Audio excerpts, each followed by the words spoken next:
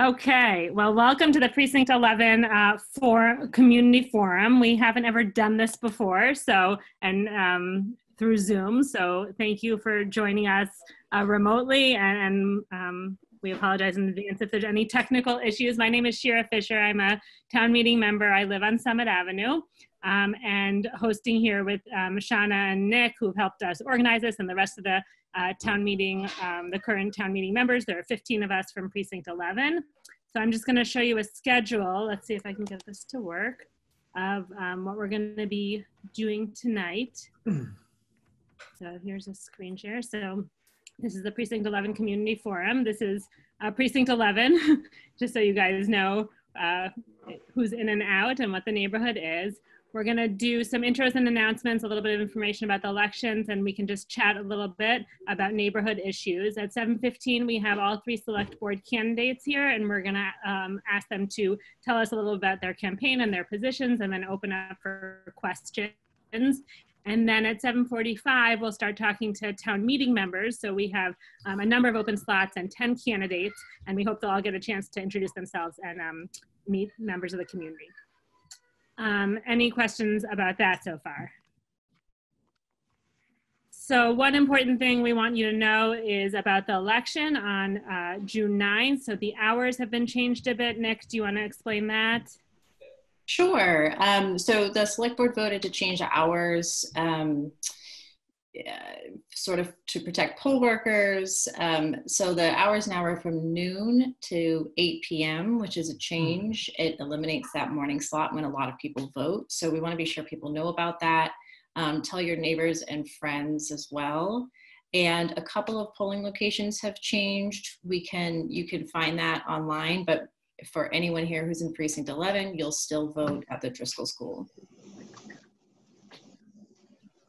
Okay, so.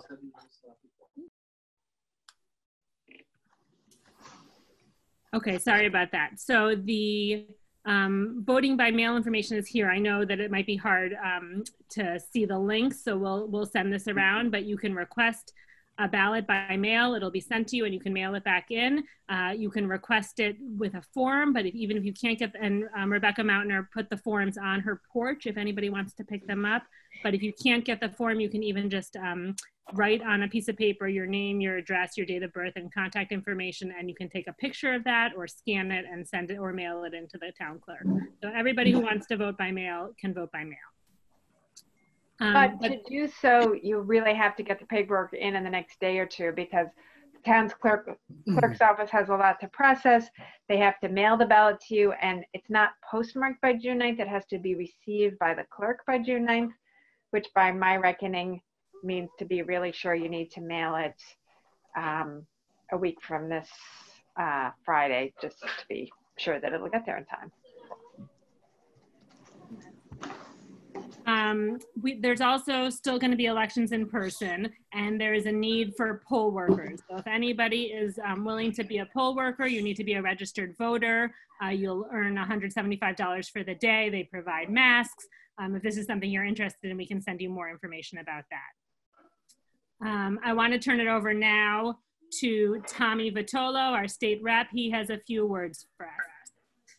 Hi, everyone, and um, maybe not now, but later, I ask you to just take a minute and reflect on Memorial Day and, and what that entails, what that means for you. And thank you for this candy. Um, that was Angelina. Uh, quickly, uh, this is me, 617-872-8921, tommy.vitolo at mahouse.gov. Call me, email me anytime for anything COVID related or not. I and my office will do everything we can uh, to help you with whatever it is that that you need some help with. Um, also, uh, I have a vote by mail website too. Super easy. It's got the information there. It's got the form there. Uh, if you're having trouble finding the notes from this meeting, you can always go to tommyvitolo.com slash vote by mail. And since there are so many candidates and it's so hard to go canvassing, I've got them all in one place. tommyvitolo.com slash 2020 Brookline candidates has every candidate for every office on the ballot June 9th um, with the endorsements, with the League of Women Voters responses, with photos when I was able to get them. Uh, so it's one convenient place for everybody. In fact, I got Nancy's photo earlier today. Thank you, Nancy. Uh, so that's the story from me. Uh, really, call me if there's ever anything I can do for you. Uh, that's that's what I spend my time doing right now is helping helping neighbors like you with whatever's going on. So best of luck to everyone, and thank you, uh, Shira and Nick and everyone who put this together. Thank, Thank you. you, Tommy. So next, um, we have a little time just for chatting.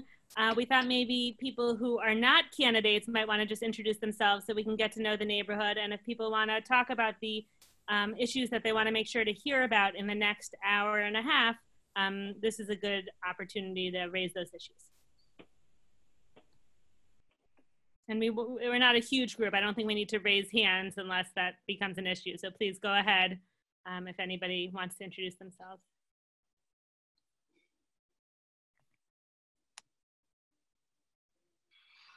Hi, everyone. Do other town meeting members, current town meeting members want to introduce themselves?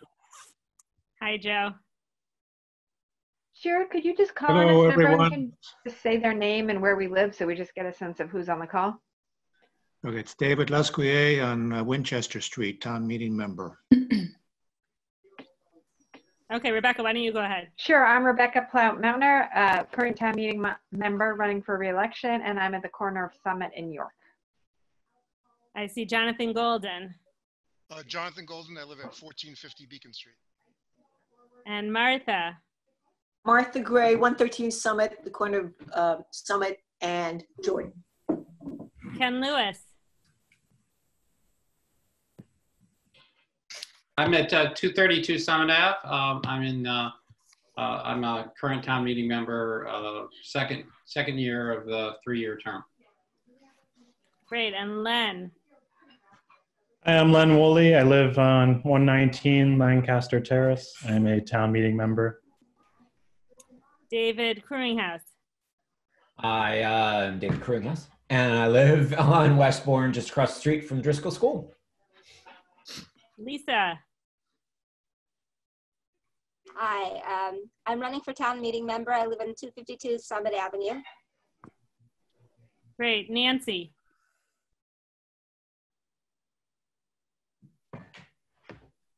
Nancy, I think you're still on mute. I'm trying to unmute you.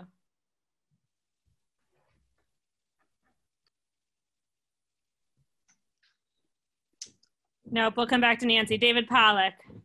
Uh, hi, everybody. I live across the street from Len at uh, 112 Lancaster Terrace, and I'm a, um, I'm a current town meeting member. Thank you, David. Nancy, back to you. Okay, um, we are going to move to 190 Lancaster Terrace, uh, starting from July 1st. And I'm running for town member. Great. Right. Joan.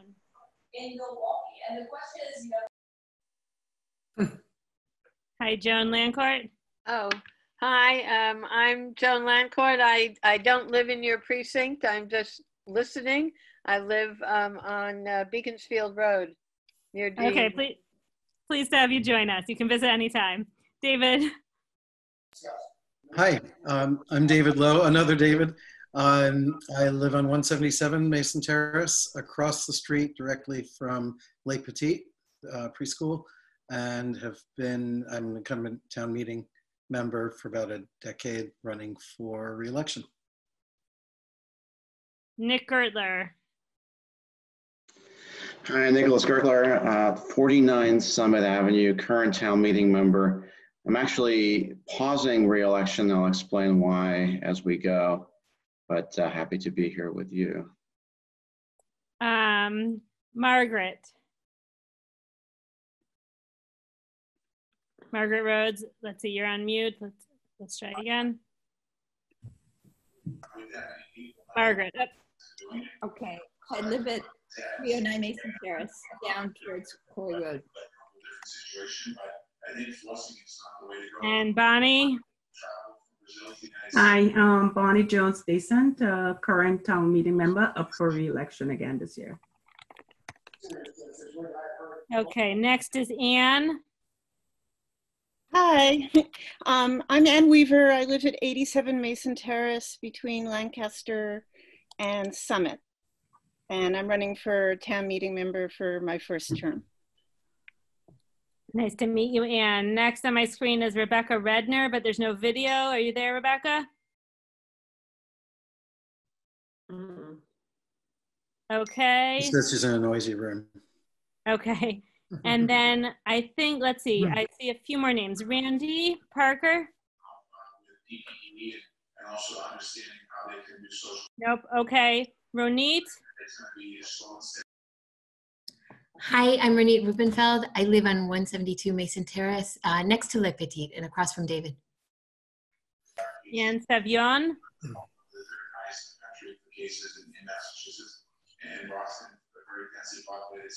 Okay. Anybody else who didn't get to introduce themselves? Uh, Shira, you did not get to introduce yourself.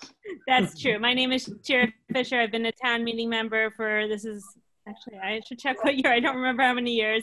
I live on Summit Ave um, with my husband and three little girls. And it's says uh, nice to see you all. Uh, I'll hand it off to Nick, who didn't introduce herself yet, and then Shauna. I'm Nicole McClelland. Um, I live on Jordan Road and I'm finishing up my first term, so I'm up for reelection for a town meeting as well. And I just got a little pop in behind me. That's my daughter. and thank you everybody for being here. It's good to have this turnout, and um, hopefully this will be the first of many uh, forums that we can do as a precinct.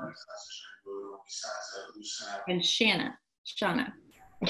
Hi, I'm Shauna Giora Gorfine. I'm a town meeting member. Also, I live at 66 Winchester Street. Um, actually, just just next door to David Lescohier, um, next building over. Um, I've been a town meeting member since think 2011, but I would have to check. Um, and I'm in the middle of my three-year term now. And we had one more um, person comment. Rebecca is in the noisy room, but she lives at 227 Summit and she's looking forward to the election. Anybody else want to introduce themselves? Okay, so we're right on time. We're now going to start the um, select board forum. I'm going to hand it over to Nick and then we'll be able to hear from our candidates. Great, and just to remind people, since you're here, um, you know, we do have some questions for the select board members, but it would be, or for the candidates, but it would be great um, to hear from the participants what you would like to know from them. So I'll start with um, we can start with opening statements from each of the candidates and just so that um, Heather, John, and Eric, so you know for each of these, I'll give you the order before I give you the question so you know, you know who will go first, second, and third. But participants, viewers, you can use the chat feature on Zoom. Um, I'm not gonna be checking email during this, so do that and we'll be able to see what your questions are and we can ask those of the candidates.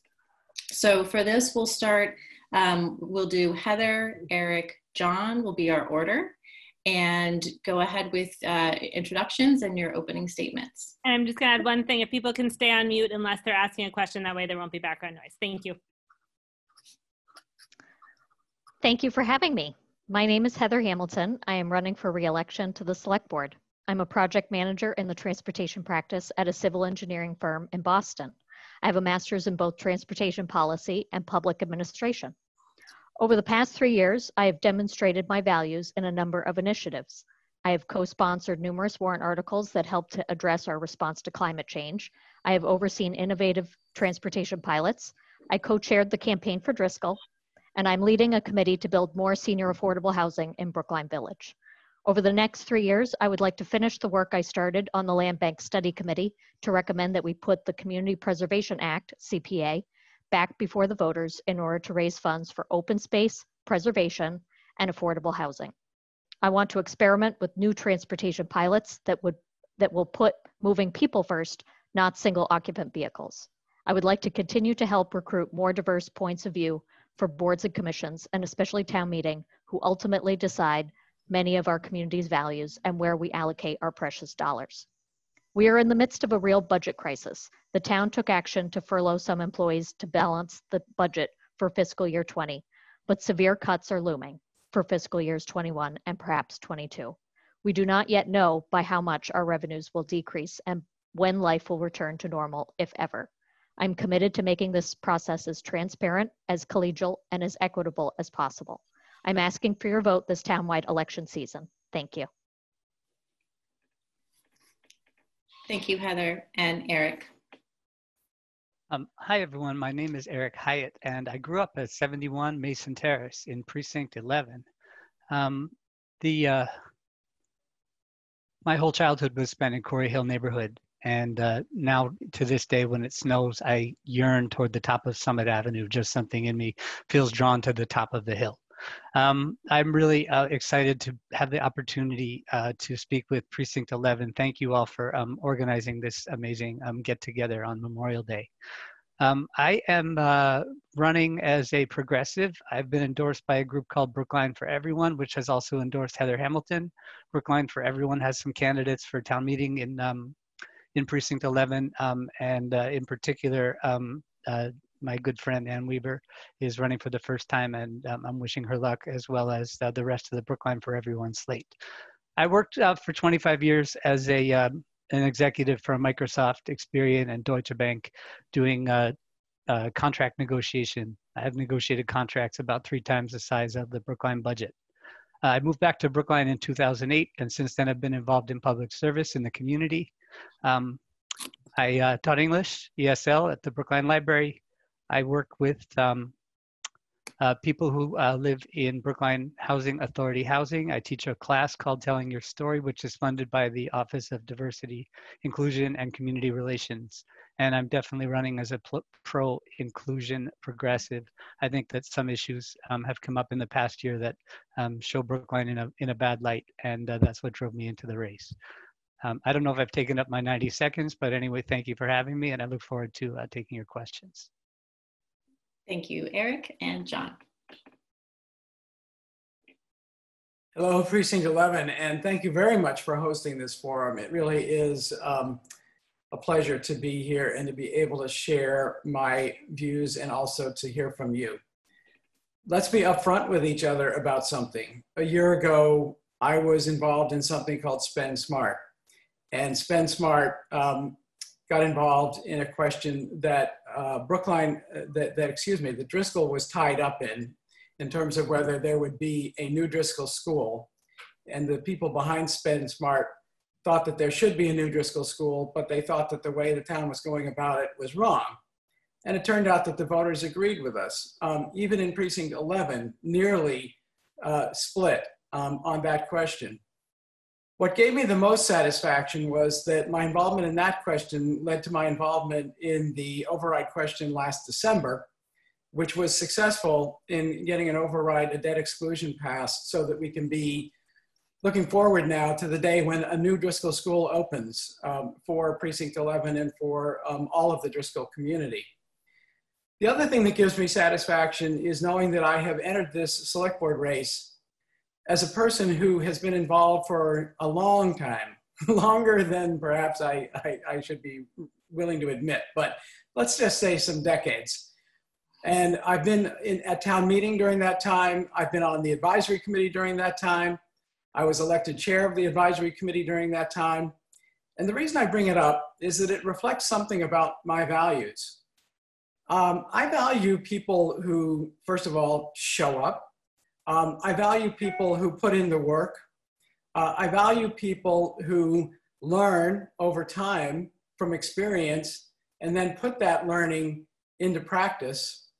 And I think that a position as important to Brookline as the board of the select board, excuse me, um, requires people who have done that work, shown that experience, been tested by their, their fellow townspeople. And in the end, those townspeople, not the individual, him or herself, but those townspeople, and over 200 of them in my case, have said, this person is who we can trust to lead Brookline during one of the most difficult periods that we've ever experienced, and that is this COVID 19 period. So on the question of values, some people like to use labels. Progressive is a label. I feel we're all progressive in Brookline. I don't know any, I don't know too many townspeople who would say, I don't believe Brookline should make progress in, in providing for all of its citizens. But I think that um, when, when, if you're going to introduce labels, let's also talk about experience and let's, let's also talk about uh, knowledge and let's also talk about the testimony of the uh, people who have worked with me that I'm the kind of person that they feel has the leadership qualities that Brookline needs right now. Thank you. I hope I didn't go too long. Thank you. Thank you, Heather, Eric, and John for your introductions.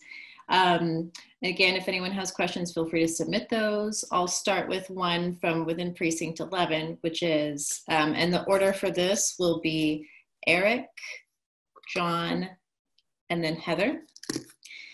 So the question is, even before COVID-19 hit, Brookline was facing a structural deficit and BFAC came up with many possible approaches to balancing the budget.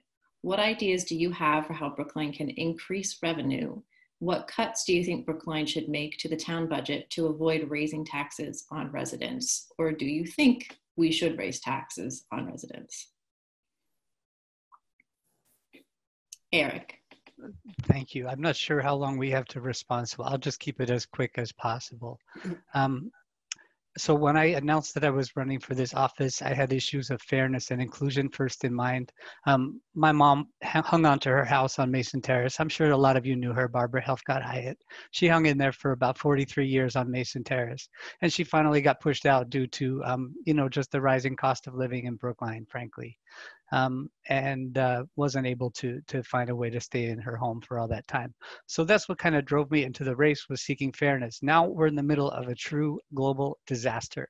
There's no other word for COVID-19 than a disaster, which means Brookline must seek disaster relief funds at the state and federal level. This is a disaster. If it were a hurricane, we'd be seeking disaster relief. We need disaster relief for COVID. In terms of raising revenues, I think that um, the number one thing I would do is add housing to Brookline. Uh, Brookline for Everyone is recommending we add about 3,300 units of housing, and I think that's a good, you know, kind of way object to think with as a number. Um, to bring in new revenues. A lot of that would be senior housing, and a lot of that would be mixed use development. So a bold redevelopment plan. In terms of making cuts, it's way too soon to talk about cuts. We need to try to get emergency funds first before, before we can do anything. Finally, I do support the BFAC report, or much of it anyway. I think it is a solid um, framework for how to, to make decisions, and I especially like the idea of warrant articles being vetted for fiscal soundness. Thank you.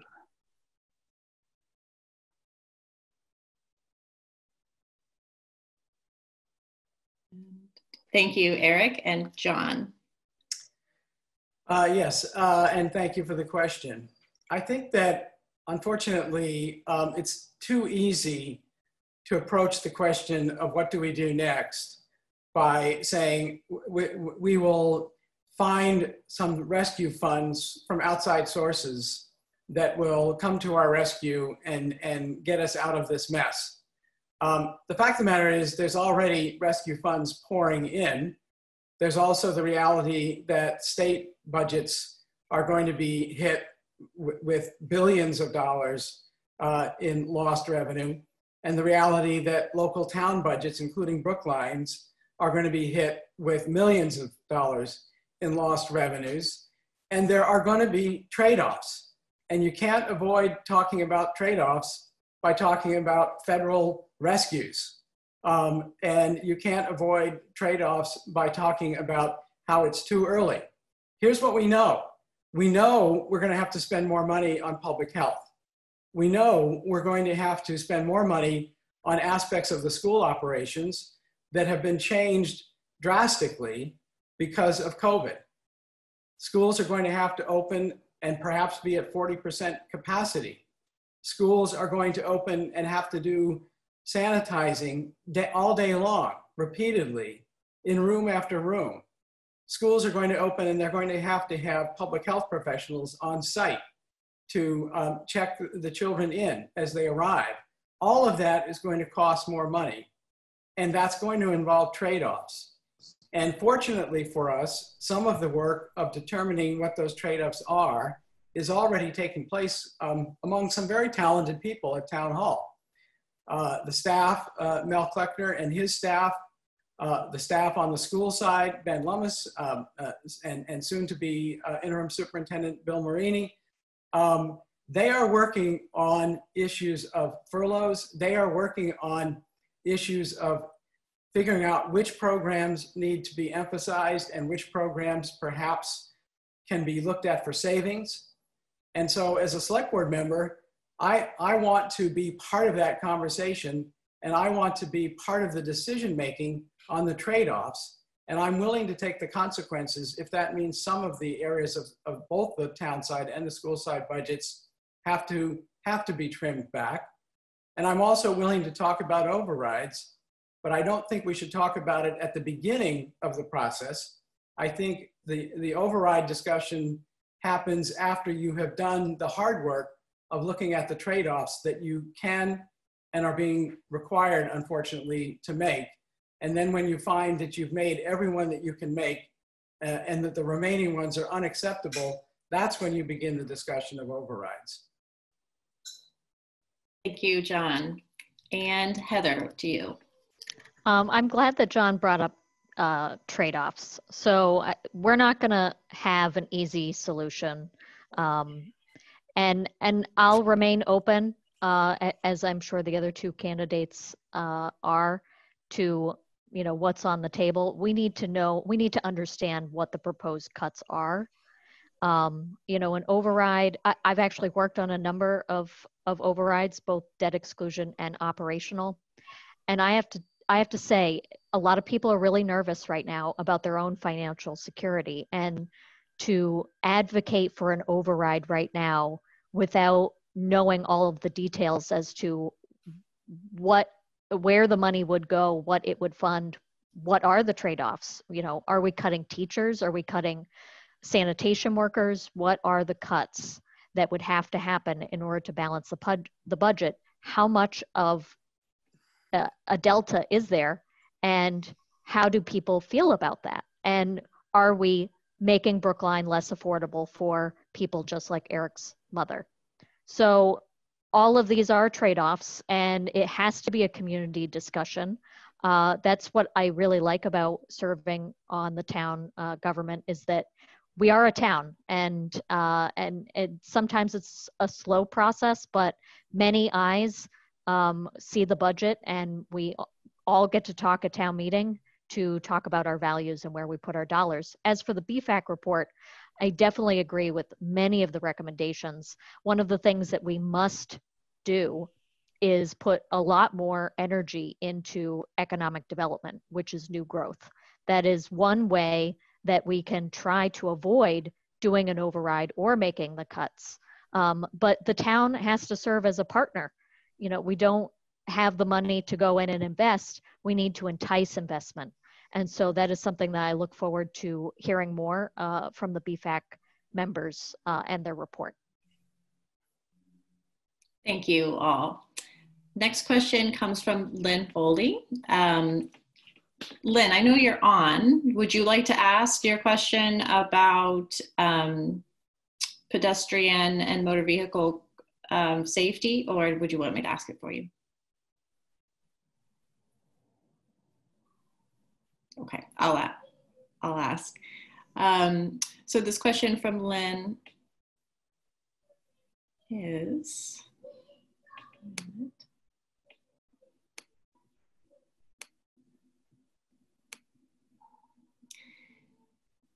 The Brookline Police Department reported the following traffic crash data for 2019. 52 motor vehicle versus pedestrian crashes, 36 motor vehicle versus pe pedestrian crashes with injury. During the last two months, presumably this year, there have been zero reported motor vehicle versus pedestrian crashes. Uh, the mayor of Paris has stated, quote, in total, 50 kilometers of lanes normally used by cars will be reserved for bicycles, end quote. She also said another 30 streets would be made pedestrian only, quote, in particular around schools to avoid groups of people, end quote. Should Brookline close certain streets to motor vehicles, specifically to the Precinct 11 and Corey Hill neighborhood? Should Brookline reconsider its street design for the Driscoll School project and make streets like Westbourne Terrace pedestrian only? Uh, the order for this is John, and then Heather, and then Eric. So John. Thank you again, and thank you, Len. Um, I, I want to say a number of things about bicycling and, and also the virtues of walking and uh, the virtues of sustainable transportation. The first thing I want to say is that possibly that one of the most exciting things in this campaign for me has been to fully appreciate how active and how involved and how determined the bicycling community in Brookline is. I think we must have one of the best in the greater Boston area, and um, including a state rep, Tommy, uh, who's an avid bicyclist. Uh, and I think that that, that level of, of um, energy and, and in, involvement in uh, all of these sustainable transportation issues is great.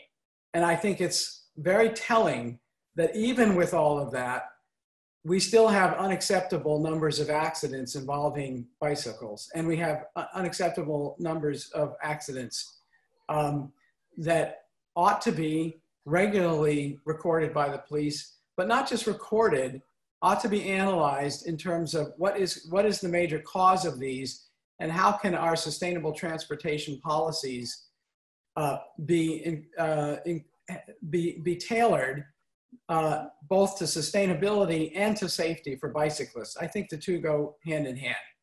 So what has happened recently with the COVID-19 experience involving um, the, the reservation of special uh, lanes on Longwood Avenue, um, Harvard Street, uh, and Beacon Street is, I think, the way to the future. Uh, but it's only the beginning. I think the bridle path needs to be seriously um, uh, needs to needs to go forward in a serious way. Um, and I think we need to look at other areas of Brookline where the kinds of uh, temporary, and I hope they don't remain temporary, um, uh, changes to streets in the Coolidge Corner area become a model for changes to streets all over Brookline. But the overall goal has to be an integrated system where walking gets a higher priority, bikes get a higher priority, and we deal with the presence of cars by rethinking where the position of cars in the urban transportation network. And I'll leave it at that because I think I'm, I'm probably going on longer than uh, I should. Yeah, we'll try to keep it to 90 seconds. We're trying not to be too sorry. with time. That's okay. Um, and uh, we didn't give you that at the beginning, so it's it's no problem. Uh, thank you, John, and on to Heather. Um, I believe that I've shown myself to be a real leader on this issue. I, I do have a background in it. It is probably like one of the most passionate things that I uh, care deeply about. Um, I fought for that proposal to um, to to go before the select board for us to vote on it and for it to be a, a majority decision. And then upheld it when it came back to the select board the second time uh, to widen the sidewalks during COVID um, in the locations that John listed. I am absolutely open to not only making that somewhat permanent, you know, we'll have to see what makes sense as things start to open and there's more demand for uh, parking on on the street. Um, but I I remain open to identifying streets that make sense to uh, to do uh, pedestrian only. Um, you know, it's a it's difficult because you've got residents in the area that need to be able to get in there, and we don't have enough police to enforce. So it really needs to be um, self-imposing um, enforcement, which is tricky. But I think everybody sees the potential during this crisis. Everybody sees why it it is so badly needed to widen our sidewalks. And even the businesses, I think, who have long since uh, uh, said that they would love to do more outdoor seating, but there's not enough space uh, in the sidewalk. I think we can all see potential for what life could be like when we really start to put pedestrians first. And I just want to close by saying I, I try to uh, go to the Safe Routes to Schools uh, meetings, and every week there is a pedestrian that is hit by a car. It's every other week that it's serious enough where the person needs to be transported to the hospital. Those are unacceptable numbers. Thank you. Thank you, Heather and Eric. and unmuted. Okay. You'd think I'd be better at this by now. Um, so yeah, I um, live now in precinct 10. I live at 1569 Beacon Street, all the way um, one precinct over. Um, and uh, for the, I was um, dating a guy. uh, Sorry, uh, his name is Teddy Weinberg. He uh, owns a condo in Colonial Arms, uh, which is in precinct 11. So for the whole first year that we were dating, we were back and forth across Beacon Street. We called our relationship across the street. Um, Teddy now lives with me at 1569 Beacon, and uh, but he still owns his condo in uh, in precinct 11. I mention this because we both live on different versions of a bikeway. At 1569 on my side of Beacon, the, the eastbound side, it's a bikeway that has cars to the right hand side of it and traffic to the left. In front of Teddy's building at Colonial Arms, the bikeway is somewhat protected. I would call it a, a buffered bike bikeway. That's pretty much the nicest thing we can say about it. Um, neither of these is yet effective enough to get people safely through Brookline. I'm looking for a true protected bike route and a road redistribution of Beacon Street especially. But while we're at it, I think we need to look at our other um, transit ways and think about what is it like to commute by bike around Brookline? Is it only for daredevils who feel really safe? I see um, cars cross the bike lane every day in front of my building, just simple things that are necessary to park, for an Uber to drop something off. These like transient idling um, situations need to be addressed in a different way. I'd like to have a drop up point per block for Ubers, for example, or, uh, food deliveries, and then have a true protected bikeway as far as we can. If we can get it all the way from Cleveland Circle to St. Mary's, I think that would be incredible. Um, I walked to Driscoll every day as a child. I, you know, came down the path from Mason Terrace and went up Westbourne. I, I don't know that Westbourne needs to be made pedestrian free, but if the residents of Westbourne Terrace would like it, I don't see why we wouldn't explore that. I, you know, at, the same time, there's logistics of getting people to and from New Driscoll, so we have to think: um, is that what the community is really looking for?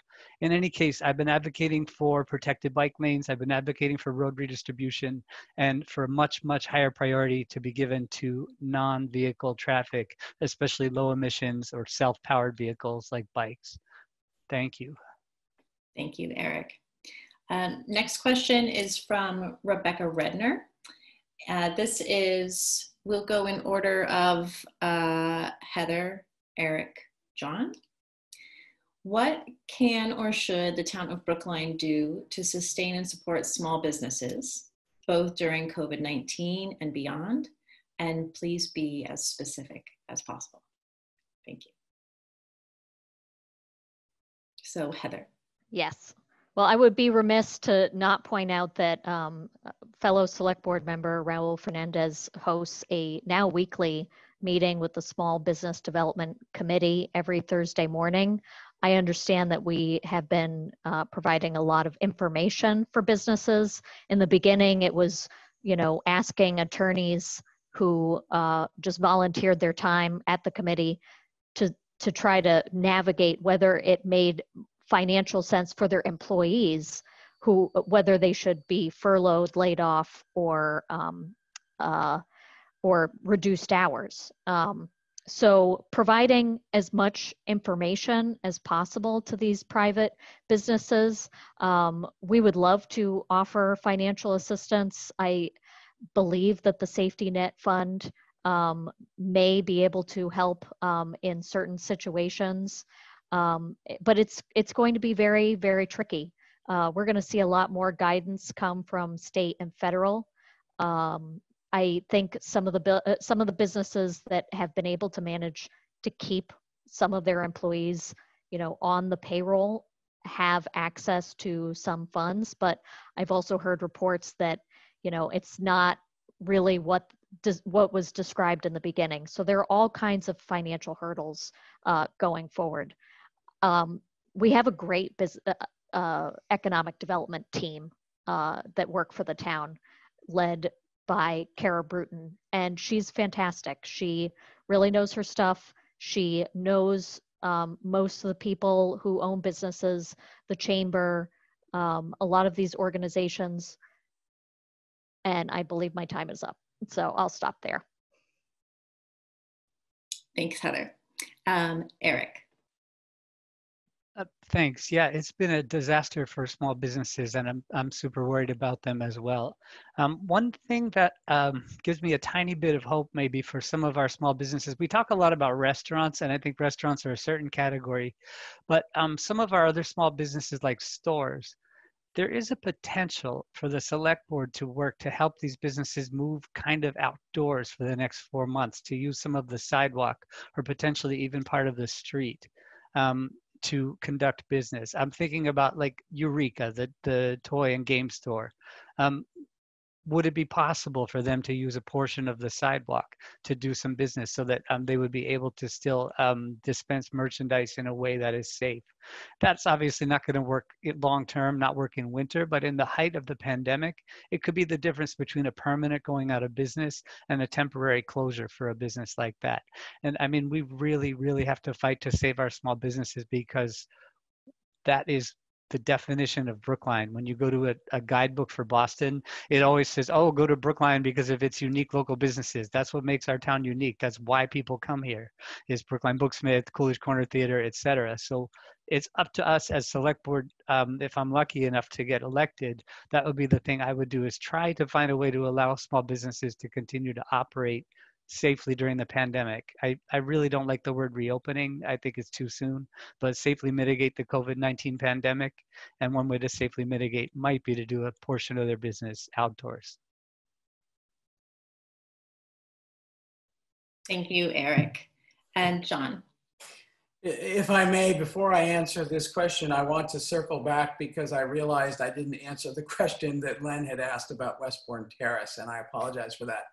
Um, I quickly, I think it is much too soon to decide that Westbourne Terrace should be pedestrian only. Uh, and the reason is that I have actually made a practice when I can of monitoring meetings of the Driscoll Building Committee.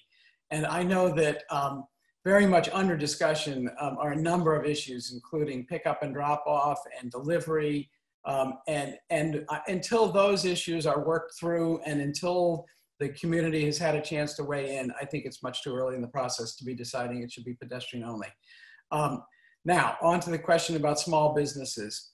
This is going to have to be maximum effort, maximum uh, uh, across the board. Uh, we're going to have to continue the efforts that Raul has begun uh, to uh, meet regularly with the business community and pull out every stop in order to get them the assistance that's available, both from federal and state sources. Um, we're also we're also going to have to apply resources from town hall in, in not only more intensive ways but in more creative ways. The public health department is going to have to be involved with every single business virtually every day to try to make sure not just that they are complying with um, uh, the new requirements of living in the post COVID 19 world, but that in fact that, that we are helping them to reassure their customers that it's, it's safe to come back um, and to reassure everyone that the rules are clear um, and, the, and the rules are being followed and that that's going to make it safe to visit restaurants again. It's going to make it safe to visit retail operations again.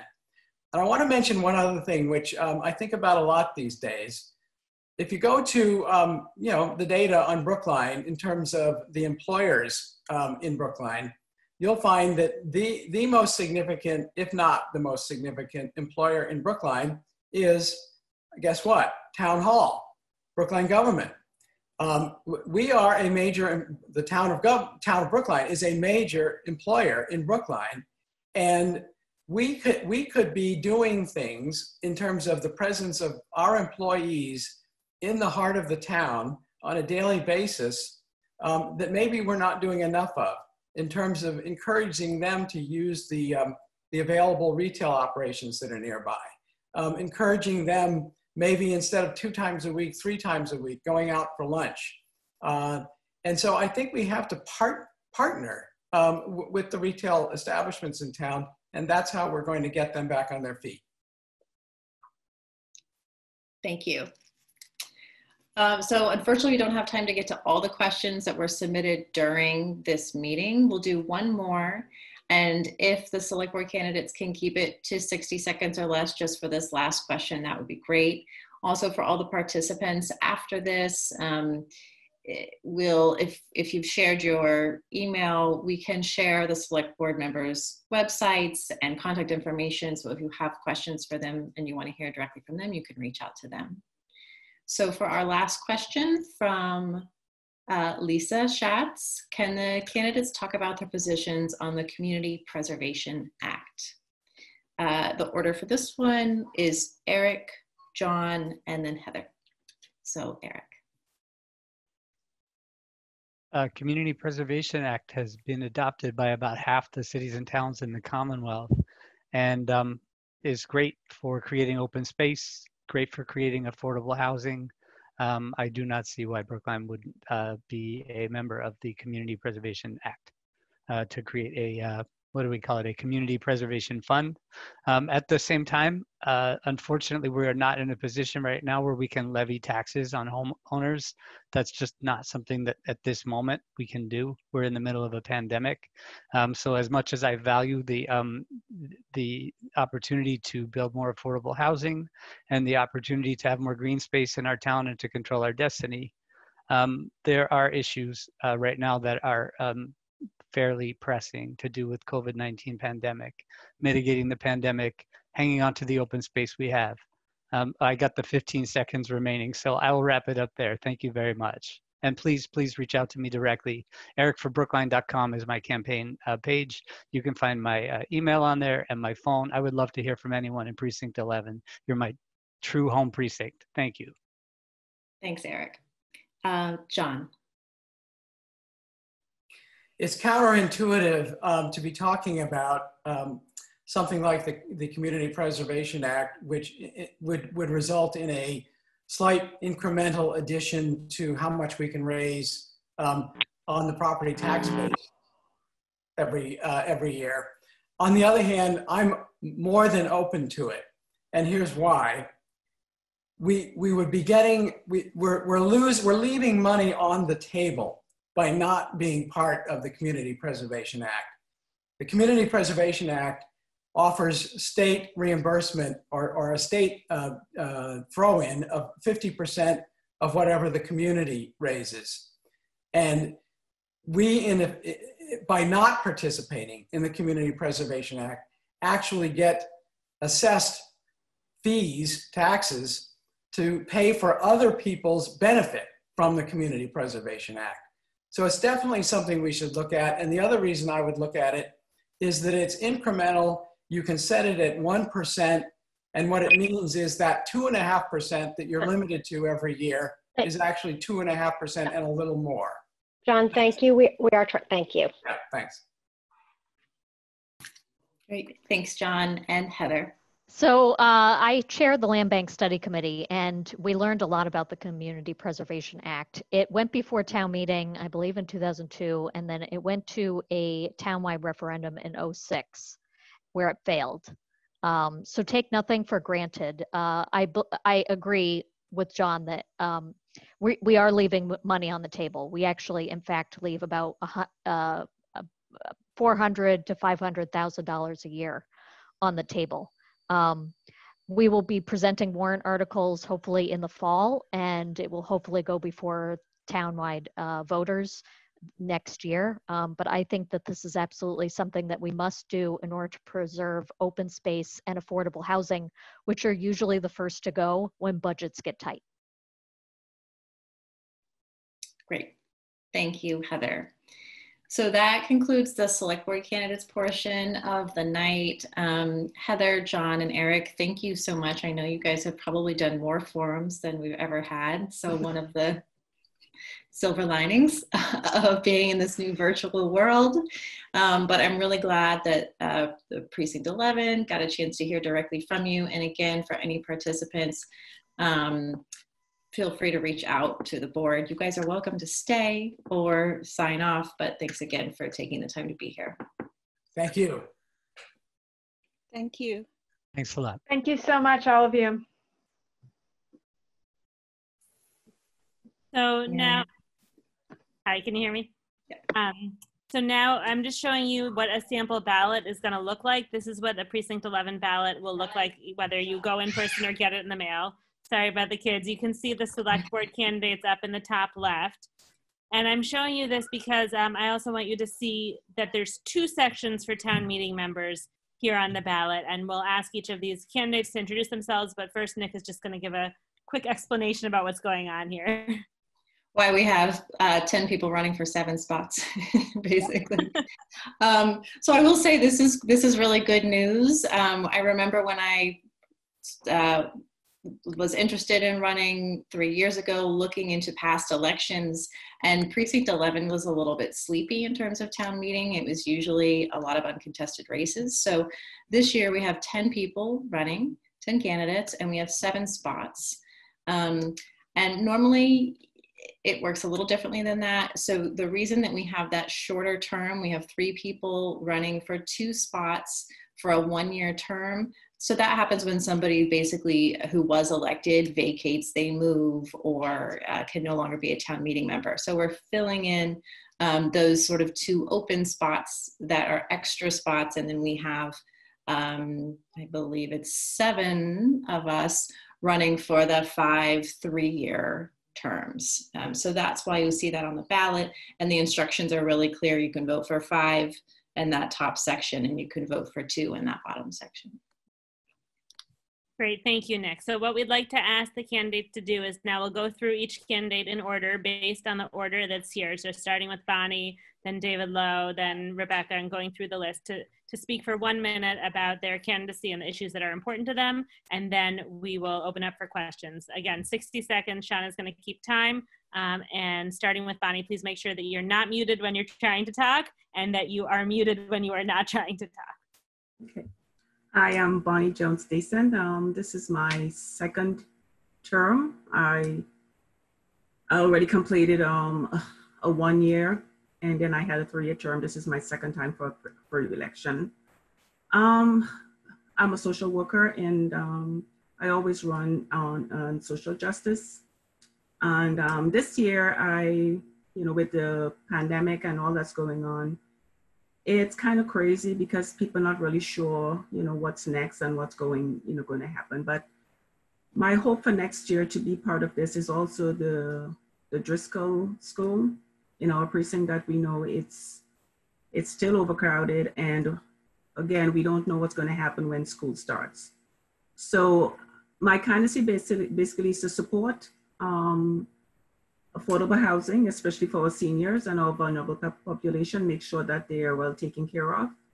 The Driscoll School and also transportation and the bike path, because having seen the, the new configuration of the roads, I think it's something that we need to really try to keep permanent because it's safe. I can walk, you know, and it's so different. I've seen so many people almost get run over. And I think that is something that we need to really focus on moving forward is try to see what this pandemic has brought out in the in the good in the town and try to keep that. Bonnie, so, thank you. That I can thank you. I'm trying to keep, yeah, thank you. Good evening. Thank you for being here, and um, I hope everyone's keeping well. Um, it's it's funny times. Uh, I, I came on board.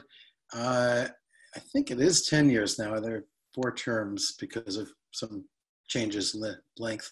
Um, and I, I was first invited uh, to run by um, two illustrious members who are here, um, now Judge Joseph Ditkoff, and even before that, um, Tommy Vitolo, so good company.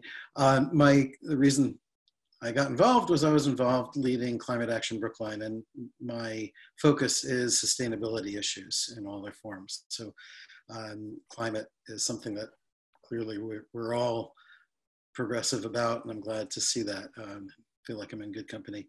Um, the schools, I would have said that you know the schools were the primary issue, but now everything has turned on its head, and we really have to think with a clear and open mind how to address the new challenges post COVID. Hopefully post. So I'll leave it there. Thank you.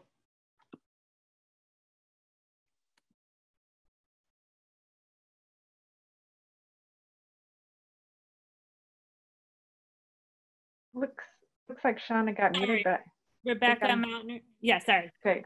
Hi, I'm Rebecca Plaut Mautner. As I said, I live at the corner of Summit in York. I've been a town meeting member for 10 years. And um, I think the thing that has uh, been the hallmark of my time in town meeting is that I've worked consistently in many different ways on inclusion and making sure that more people are able to participate in town life. Um, my day job is working in affordable housing. I've had a, a, role in working on affordable housing efforts in the town, but I've done a lot, um, and I'm very committed to economic development. Um, but I've done a lot of work uh, to make Brookline government more accessible. I was uh, brought an effort, uh, an initiative to change the scheduling of town meeting to make it easier for uh, working parents and lower income people to participate. And I know it's not just because of that, but there's been a dramatic change in the population of town meeting in the eight years since I brought that. And I've also worked to help folks who are not uh, have not historically been active in town bring more in articles and be effective in moving things through the process. Thank you. Uh, great, thank you. Next, Nick Nicole McClelland. Great. I'm Nicole McClelland. Um, I have lived in the Corey Hill area since I moved to Brookline in 2006, first on Beacon, then Atherton, then Jordan. So I've somehow just been only in this neighborhood since I've lived here. Um, I'm a first term town meeting member. Um, I do want to start by recognizing it's Memorial Day and you know, in a sense, what we're doing here tonight is possible because of the sacrifices so many have made. So I want to take a minute to recognize that. Um, and then in terms of why I'm seeking reelection, um, it's funny because I can remember when I first considered running for town meeting saying to my husband, oh, it's only like going to be six nights a year. This is great. I can make a difference, be involved, and it'll be six nights a year, which is not actually how it turned out. Um, but it's been so worth it. And I will say I have two impressions every time I go into that auditorium for town meeting.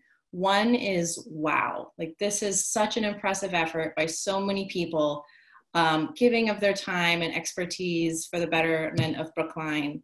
And then the second thought I have is there are so many people missing from this room. This does not look like the population of Brookline. There are voices that are missing. We are here debating, talking, literally making laws that will change people's lives. And we're not even hearing from so many people that would be affected by this. And we're all worse off for that. So, like Becca and many, many others, that's what I've been working, I would say, the most on in town meeting. Um, I've joined the Commission for Women. I've put forth warrant articles um, and started a group called Inclusive Brookline. And my next project is childcare, which I think is more essential than ever. Oh, am I already at a minute? Yep. so I hope I'll get a chance to, to finish the work I'm doing um, and uh, you'll vote on June 9th. Thank you. Okay, thank you. And now the other Nick Gertler has an announcement. Yes, hi. So I have been, I was caucused in a year ago. I've been doing policy and strategy for 20 years, and uh, given things that haven't gone on over the last uh, several months, it's entirely feasible that my family will not be here over the next academic year. So I don't think it's appropriate for me to run on this ticket, but I uh, request that you consider me if I'm on one uh, later on. But in the next 30 seconds, I just want to point out three challenges that you all have given the anachronistic form of government that was developed for probably a simpler time uh, the first one is it's going to be more essential than ever to reach consensus and to reach consensus on these issues before they get to town meeting. Uh, the second is scale. There are so many things that this town has to deal with for which it's just not big enough. And one of those is figuring out, for example, how to do distance learning in the school system that's only serving a population of 60,000. And the last one is coherence. There are a lot of great ideas and a lot of people who believe strongly in, in issues, but those issues have to be prioritized perhaps more than ever and trade-offs have to be made and the structure of anyone being able to propose anything uh, doesn't quite work. So can we look. we're trying to just thank you. We're trying to keep everyone to a minute please. Okay next mary ellen. ellen. Mary ellen. Is mary ellen on? Moran Nope. Okay. So next, um, Lisa Schatz is our other non-incumbent for the three-year seat. Hi. Um, do you hear me okay? Okay, good. so uh, this is the first time I'm running. I've I haven't been involved in in, in the town and government because I thought my life's work is is um, an electrical engineering professor, and what I do is um, I'm, I'm the chair of my department, and we target uh, students from the inner city, and we provide them with enough supports that research has shown can lead to success in electrical engineering. So that was going to be my my thing, my contribution to society. But then I became uh, more and more aware that um, that housing is a huge, huge issue. And I, actually, I don't know if I'm going to be elected because I'm actually uh, representing people who can't afford to live in Brookline. So I want to bring in people who can't afford to live here. I want them to live here because I think this is a, you know, we have all kinds of housing. And um, and I was very impressed with the work by Raj Chetty at Harvard, who said that the way to for uh, young people who are born in, in, in poverty, the way for them to get out of it, the best thing is to live in a diverse community with um, pe with people with resources, and they studies have shown they've done the best. So I thought Brookline is the perfect place for that. We have all kinds of housing, except that people can't afford it. So Thank you. Okay. Thank you. Okay, so we're going to open up to questions after we do all the intros. So now we're going to have our three one-year candidates. First, um, David Curinghouse. Yep. Hi, my name is David Curinghouse, and I live on Westbourne. Uh, my family uh, moved here five years ago, and I've never lived in a town before, and I find the town government inscrutable. And so when I saw that there was a one-year term filling in the seat, uh, it seemed like a good way to learn about the town. Um, I am a year-round bike commuter, and some of the things that Len was advocating for, I'm a big supporter supporter of. Um, the things I've seen on the roads as a biker are terrifying, and it'd be great if Brookline could take the lead on those kinds of issues. Thanks. Great, thank you, David. On to Nancy Tsung. Yes, I um, I just moved to here uh, one year ago from Lexington, and my um, most important thing for me is education. Uh, I have three uh, grandchildren. I really like them to have in very good school system, and um, I am pretty new in the government affair. I did research. I started my own company, and now I retire. And I, I think I will try to um, learn how to involve with the government affair. And then also, I think if I can do some contribution, that would be great. Fantastic. Thank you, Nancy. And last but not least, Ann Weaver.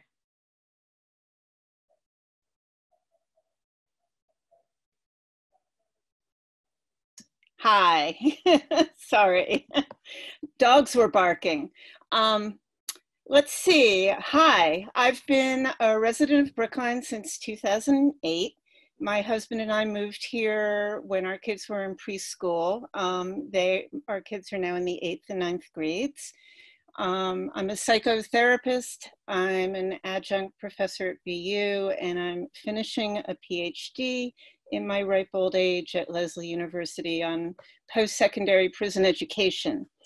I have actively participated in various town matters over the years, including supporting Gerald Alston in his ongoing and ongoing and ongoing civil rights lawsuit against the town.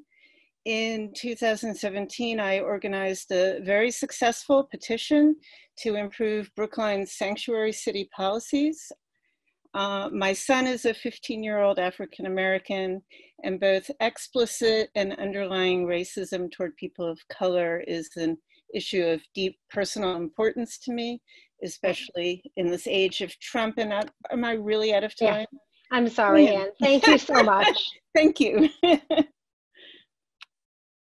um, okay, so now we're going to open up for questions. Um, one question that's come in that's both for current and um, potential town meeting members is about construction and improvement in the neighborhood. So if any, um, David Lescohier or anybody else who has updates on what's going on on neighborhood improvements could maybe update the neighbors and then the candidates can also answer about improvements that they would like to see and work towards.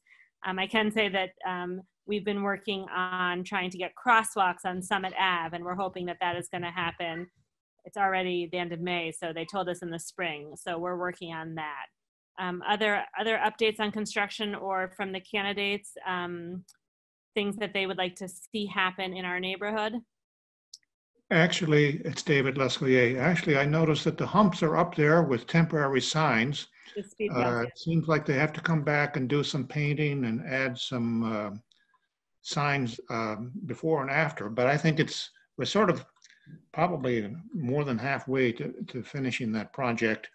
Uh, Regarding um, Driscoll School, at the most recent uh, Driscoll Building Committee, uh, there was some revived interest actually in Len Woolley's suggestion. So I think if he hasn't heard about it, it's time to cycle, uh, circle back in terms of providing uh, uh, additional space and a better traffic flow during the different stages of construction.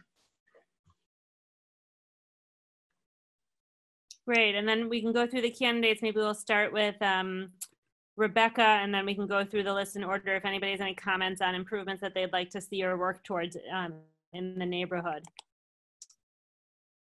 Well, I think what I'll just add is I just didn't get to say my work is in affordable housing development and I work in a lot of different cities and towns across the Commonwealth. And I think when there are things that need to happen in our in our neighborhood, whether it's schools or the other capital improvements, and uh, folks did a lot of great organizing around Corey Hill. Um, it's just im- we can help as town meeting members make sure that process is inclusive so that um, neighbors who will be affected and others can really have input so it can be both the things we care most about and done in a way that's really respectful of people's lives. Okay, Nick, you're next in order. Nick McClelland, and then Nick Gertler. Um, yeah, to echo what David said, um, the traffic calming at Summit has finally started um, and actually been implemented. So that was a, a good group effort to get that done. With Shira, I would love to work next on crosswalks at Short Street where it crosses Summit and Mason Terrace where it crosses Summit. I think we need safer pedestrian crossing in both of those locations. I think it's ridiculous that we don't have a single crosswalk on Summit until you get to the crest of Summit. Um, and just in terms of construction updates, I don't know if this was specific to the question, but um, we will see likely a lot more vehicular traffic in the Corey Hill neighborhood because there are developments at the end of Jordan Road where it meets Corey Hill. Um, three major developments happening and Corey Road in Washington. So I'm happy to tell people more about those. I don't want to take up a lot of forum time for that. Um, but several town meeting members have been discussing that. Much of that is Boston, so our hands are tied in a lot of ways, but it's something for us to be aware of and thinking about traffic calming. Thank you, Nick. Okay, Nick Gertler, are you going to bow out of questions since you're withdrawing your candidacy, or do you want to comment? I'm going to respectfully bow out. I've seen Nicole and Becca's work over the last year, which I was very impressed by. And without wanting to take anything away from the others, uh, I would urge you all to certainly include them in your slate of, uh, of candidates that you vote for. Great. Lisa Schatz is next about construction in the neighborhood. Yeah, well, what compelled me to run is noticing on Summit Avenue that when a little house is is sold, it's knocked down and they make this big giant big house, but still single family. But that big house could house very comfortably two or three families. So that that's my issue is uh, changing zoning laws so that we could have three family homes in the same space as one family homes, which would be much more affordable. Okay, next, David um, Coringhouse. All right. Um, well, I'm going to focus on Westbourne. Um, uh, I think Len's proposal is fantastic, and I live in one of the houses that would be blocked. Um, there's a stretch between the last driveway on the Beacon side and the first garage on Westbourne, and the amount of play space the kids are going to have during construction is unacceptable. And if we could claim some of that space temporarily for play space, I'm all in. So that's what I'm focused on. Thank you, David. Nancy.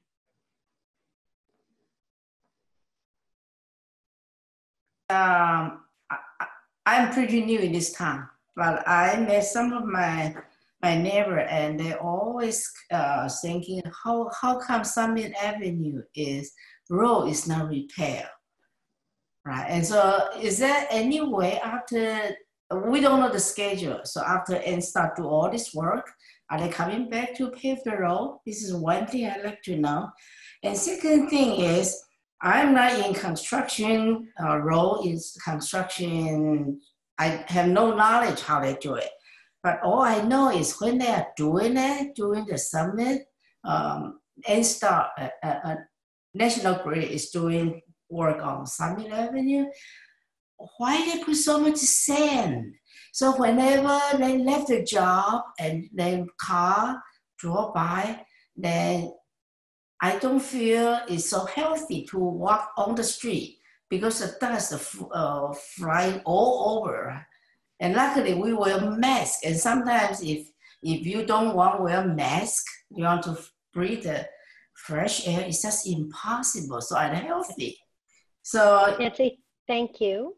Yeah. We're just trying to keep everyone to one minute. Thank you. Okay, thank you. Those are good points. Ann Weaver.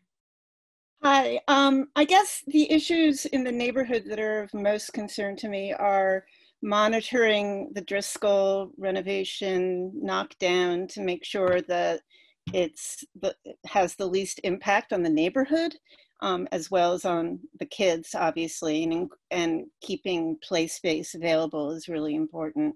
Um, I really believe in increasing bike lanes in this town.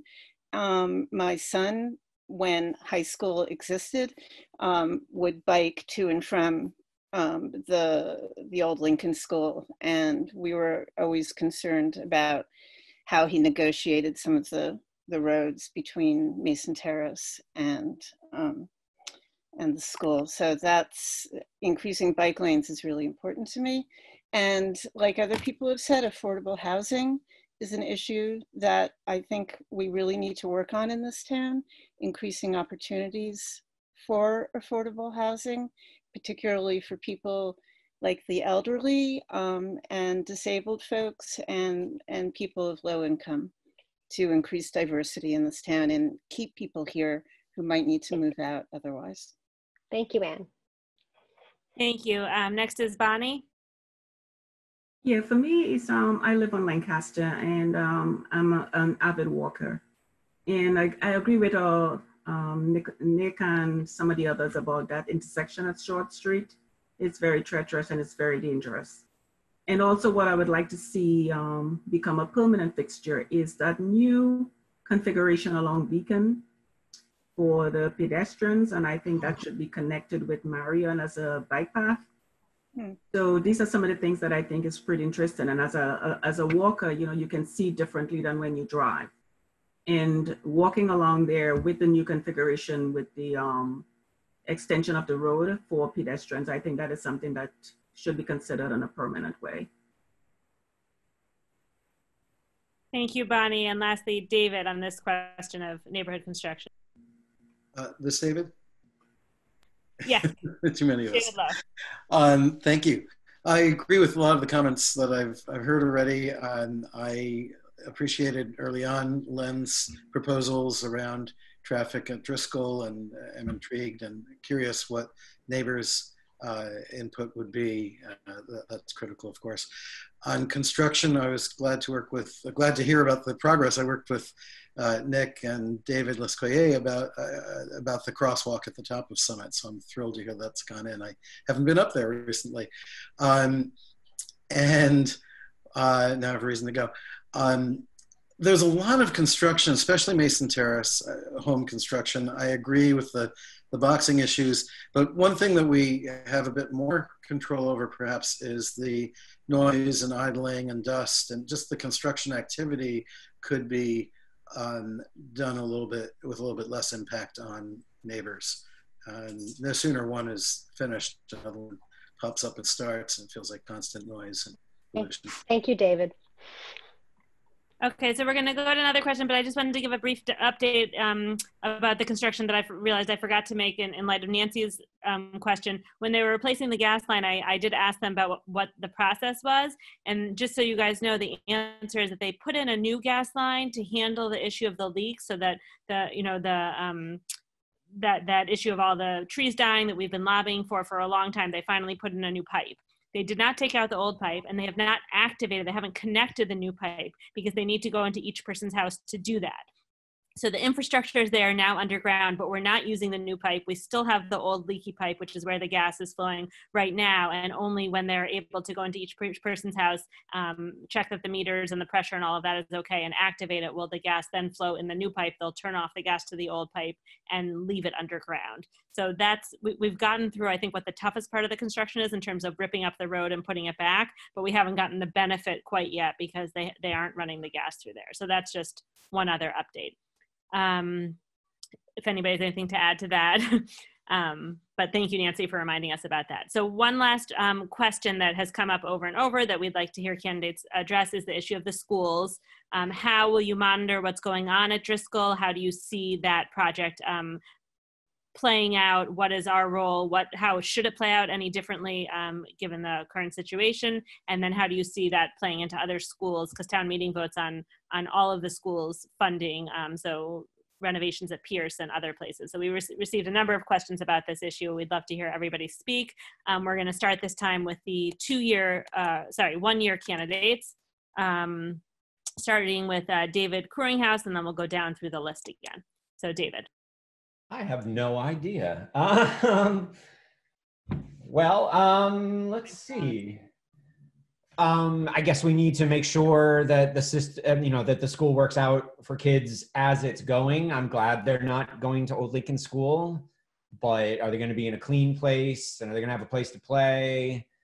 And um, I'm not that worried about the class sizes. I think that's going to be an issue that COVID is going to disrupt anyway. But um, those are sort of my initial thoughts. Great, thank you. Nancy, on the schools and overseeing them. Nancy? Hello.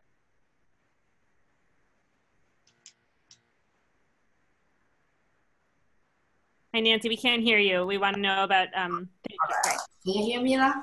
Yes. Okay. Um, one thing is why the school, my children in Lexington, I incur the same thing too. Can school like a delay maybe 30 minutes? That the kids have enough sleep. This is one thing. And second thing is, I come from Taiwan, right? And all the Asian, they they're great school. They we we stay school until five. And maybe we should extend the school, especially for this this this virus thing. The, the children has been falling behind. So maybe we can extend school to until four o'clock. Have a school more hour. This is this is what I, I like to see is that uh, any way we can make a school school day or school hour extend a little bit. Great, thank you. Ann Weaver. Hi, um, in terms of monitoring the Driscoll expansion, uh, renovation, uh, the three of us, the one-year candidates, are all new to, to this process. So I think, you know, I'm probably speaking for all three of us by saying we need to learn from you guys, the the folks who've been in town meeting and and know more about the the policies and procedures in terms of monitoring something like that. Um, but obviously, I strongly feel it needs to be monitored um, in terms of budget, especially in the COVID age where budget um, town budgets are going to be of much more concern than they used to be. Um, and also in terms of thinking about the other schools in Brookline and what needs to happen there as well, uh, Pierce being a big issue. And I know that the, um, the state might give, has said they're willing to give money toward Pierce if it's a four section school, and I know there's been issues about that in terms of if that's big enough for Pierce. So Thank you. Thank willing you. to learn from you guys. Great, thank you. Uh, moving to the top of the ballot, Bonnie? Are you still there? Yeah, I'm here. Okay, great, thank you. Yes, so I'm not sure about the monitoring or how we monitor, but moving forward, I think we need to make sure that the budget covers what the initial plan was. Um, you know, all the the improvement that is supposed to go into the new building. And as far as the other school, I think after after Driscoll, hopefully we'll be able to do all the other um, renovation and updates in the other schools that need to get fixed. But I think Driscoll should be an example and in monitoring, I think we need to monitor to make sure that it has stood up to the standards and what we had already voted for. Great, thank you. David Lowe. Hi. Um, so I, I, didn't mention before, I'm a Driscoll parent or former Driscoll parent. My daughter is in the high school entering, I guess she's still a sophomore, um, but looking towards junior. Um, so I had eight great years in Driscoll and uh, felt very close to it. So I want to see it succeed and, and go well. Uh, as far as monitoring it, aside from David living across the street and looking out the window at it, uh, fiscal management clearly, uh, the, we've succeeded finally on uh, energy issues. There's solar on, going on the roof and it will produce about half of its uh, energy needs, which is excellent. Um, as I said, I'm curious about the traffic flow, um, but I think the critical thing to add is that we are representatives in the community and it's, it is incumbent on us to help bring our neighbors along and, and make sure that people know what's going on. That hasn't always been done successfully. Uh, I'm guilty to, of that too. Great. Well, now now we realize how Zoom can make this easier to inform people. So, okay, Rebecca.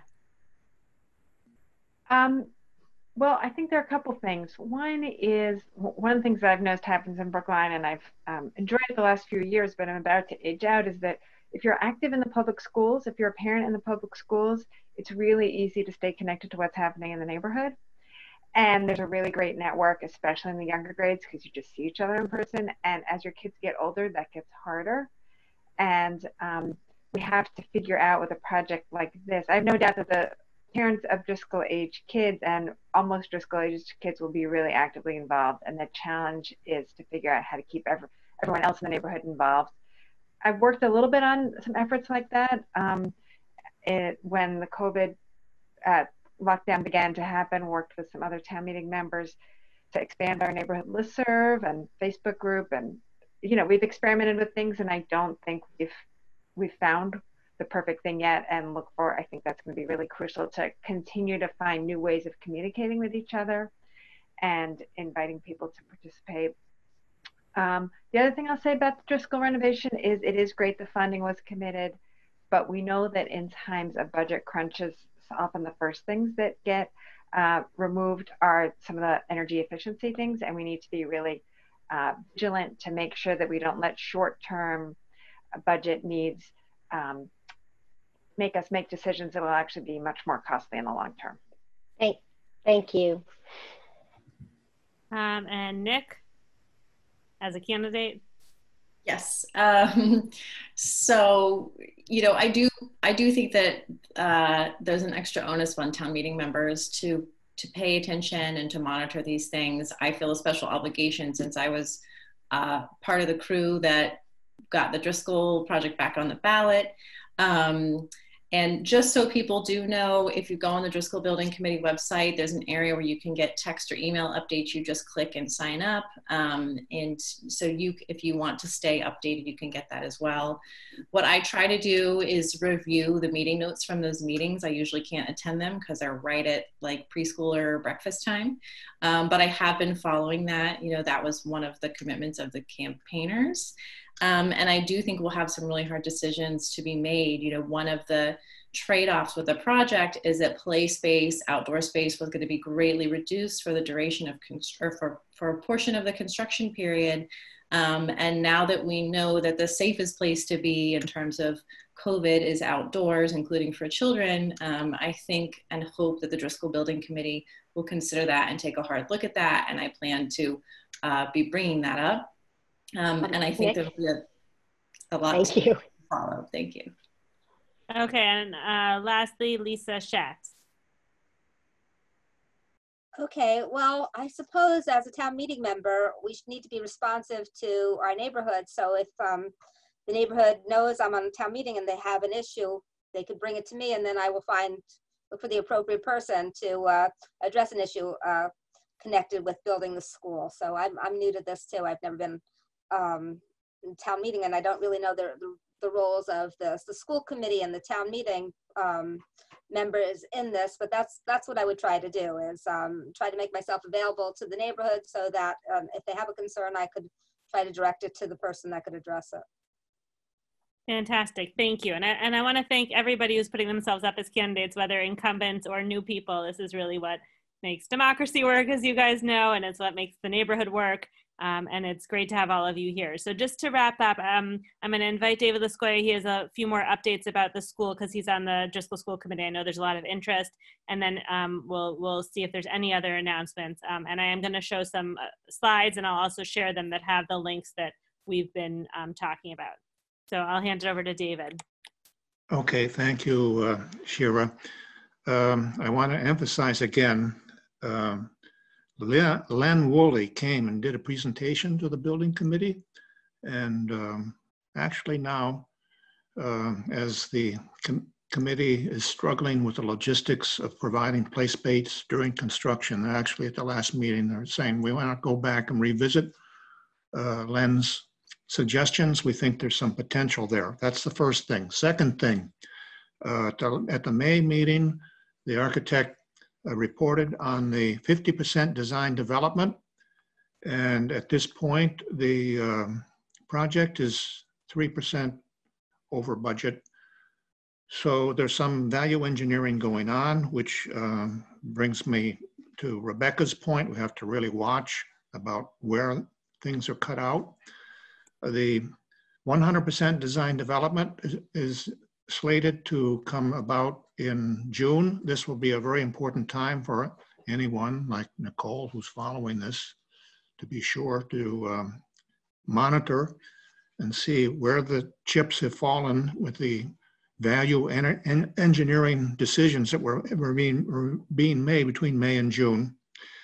And the third thing is that I heard at the last meeting, there's a possibility that some work will start on the foundation next March, just to make it all real, that what we're talking about pretty soon is going to become reality. Thank you. Great. Any questions for David? Okay, Nick, any announcements on your end? Yes not as a candidate. Um, I just want to remind, I want to thank everybody again for participating and being here. This was a better turnout than I thought we might have. Um, so I'm, I'm glad there was that interest. Just a reminder, our election date is Tuesday, June 9th. The polls are open from noon until 8 p.m. And you have until tomorrow, basically, right? To get your, Becca, is that right? Yeah, to get your application, to mail to the town to request a mail-in ballot so that you don't have to go to the polls, but if you choose, you can go to the polls on uh, Tuesday, June 9th. And the only other thing I wanted to put out there is my fellow town meeting members might kill me, but if there is interest, I would love to know if there is neighborhood interest in doing something like this more regularly, um, because it really is a good way to get updates like Becca said and Shira and others, you know, we try and talk a lot about how to do what we're supposed to do, which is actually hear from constituents and let them hear from us. And we've tried the listserv and Facebook and all the rest. But the meetup is a really good sort of more open platform and forum. So uh, you know, we don't want to do it if people don't want to do it, but if you are, um, I imagine that that's something we could do. So I would love to hear from people what you thought, what we could do better, and if you'd be interested in doing these occasionally. Thank you. And I put in the notes um, our Facebook group and our listserv. And if you can get your neighbors on both sides of you and anybody you know in the neighborhood to sign up for the listserv or the Facebook group, they'll be that much more useful with um, that many more people on it. But that we already have, um, I think, 150 or 200, 200 people on the uh, listserv and and then you know a lot of people on the Facebook group too. So it's a good way to keep in touch with folks. We had Um, some growth around the emergency, which is Yeah. Silver lining. So I'll send around in, on the email list um, all of the, the important links that we've collected through this meeting. Um, some questions didn't get answered, and I'm sorry about that, but please feel free to be in touch with the candidates directly, um, and uh, we'll make that their contact information available as well if it's okay with all the candidates. And thank you all. It's nice to see you when we're all locked up in our houses. So nice, nice to see all of you neighbors. Thank you. Thanks, Thank everybody. you. Good night, everybody. Thanks. Bye. Take care. Good night. Thank you. Good night.